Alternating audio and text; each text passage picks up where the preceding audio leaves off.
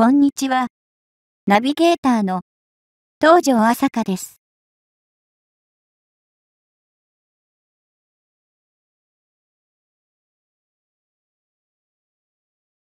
世界が今ウイルスの猛威で対応している中、中国では新たに新型原子力潜水艦が収益している。中国では次々と新しい装備が収益間近となっている。教習揚陸艦ではトラブルが起きているようだが、尖閣にはいろいろと連続で嫌がらせや侵入行動を繰り返している状況だ。かつて中国の原子力潜水艦などの急浮上を行い、国旗を掲げた行動が起きた。海底で海上自衛隊の潜水艦にかなわないと考え、最終的な行動と考え、そんな中国の潜水艦だが、今回は新型にスポットを当てて紹介していきたい。一体どこが変更？また進化しているのか。もう自分たちの技術力のなさに気づき始めたのかもしれない。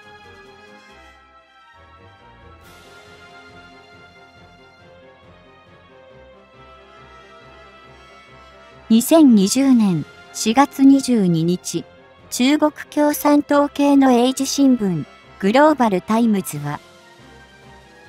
中国の最新の原子力潜水艦が収益とのニュースを掲載しました。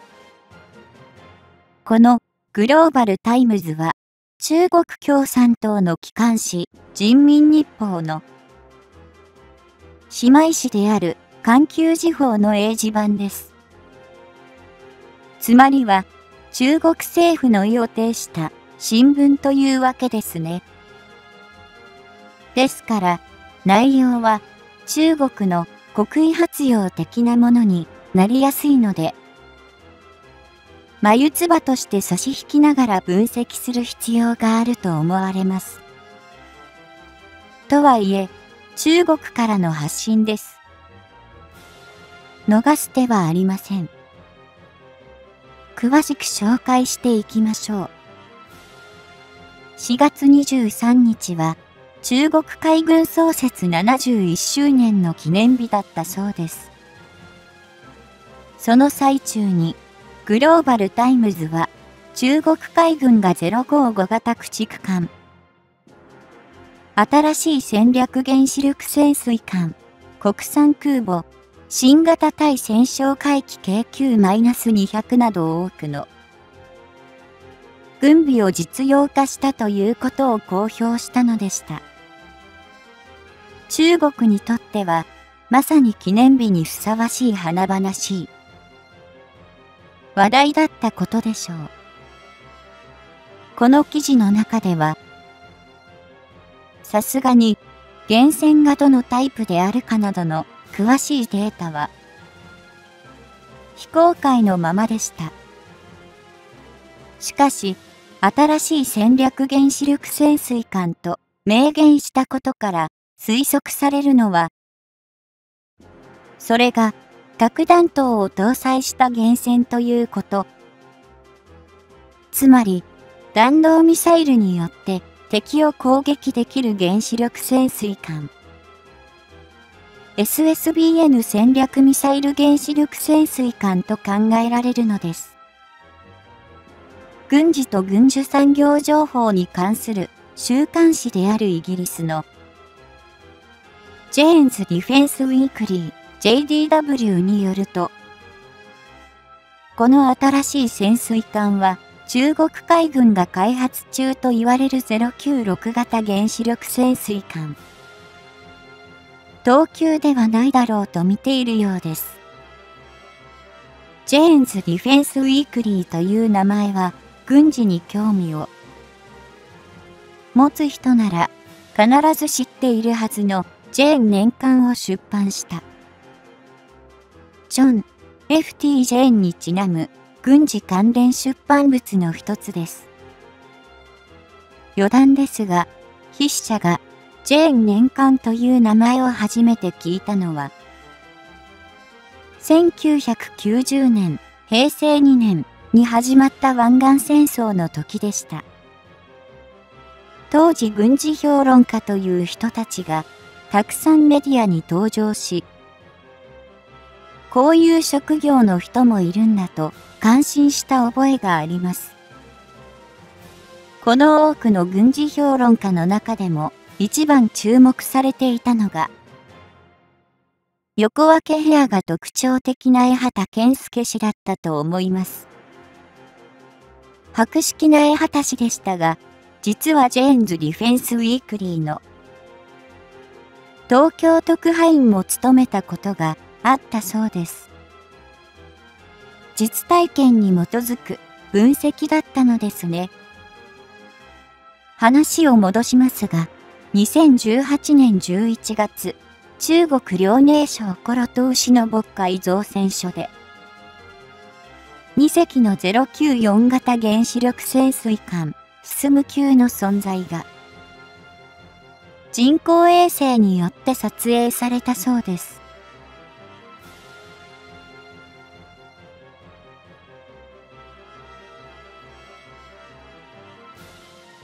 この事実から JDW は、今回新たに収益した SSBN は、この中の一隻ではないかと、推測しているようです。具体的には、同型の5番艦か、6番艦だろうということです。この094型原子力潜水艦は、最大射程距離が 7500km の潜水艦発射弾道、ミサイル、SLBM、キョナミに JL2 を12発搭載可能で、中国南部の海南島のアリュー湾海軍基地に配備されているそうです。原子力潜水艦の東急、進む級というのは NATO、北大西洋条約機構。北アメリカ及びヨーロッパ諸国で結成された軍事同盟。はじめは、旧ソ連に対抗する目的で作られたがつけたコードネームですが、由来は中国の歴代王朝にちなんでいるようです。唐は7世紀から10世紀まで300年以上にわたる長期の王朝で盛り始め、李白などの有名な詩人を輩出し、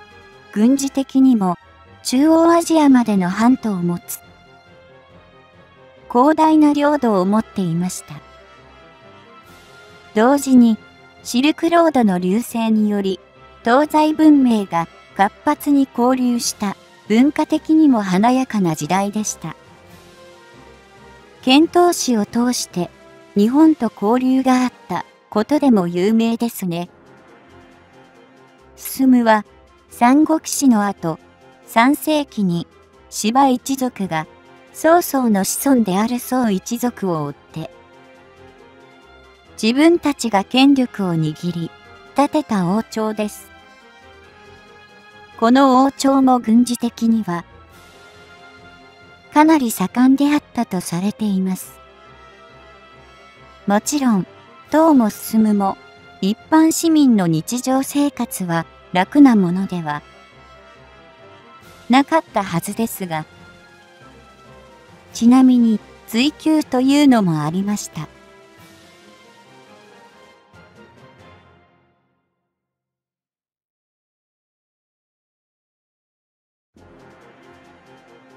あまり縁起の良い名前ではないので、二代皇帝煬帝によって国が、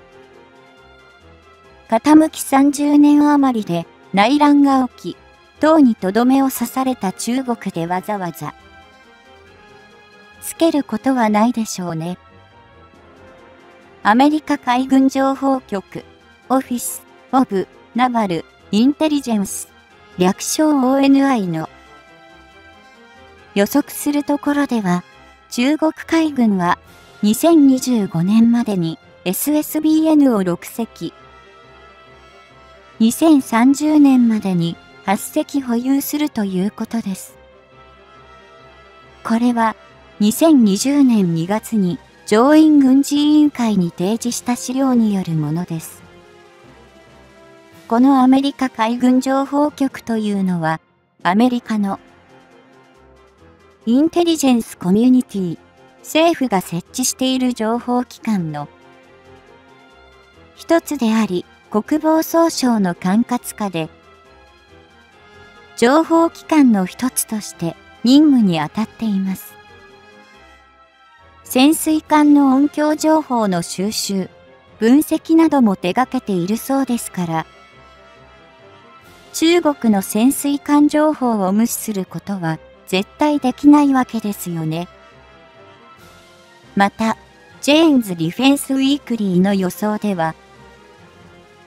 中国で096型原子力潜水艦の最初の2隻が就役するのは今後5年以降。つまり、2025年から2030年頃になるだろうということです。ということは、この時期に再び日本近海の緊張が高まることになるのでしょうか？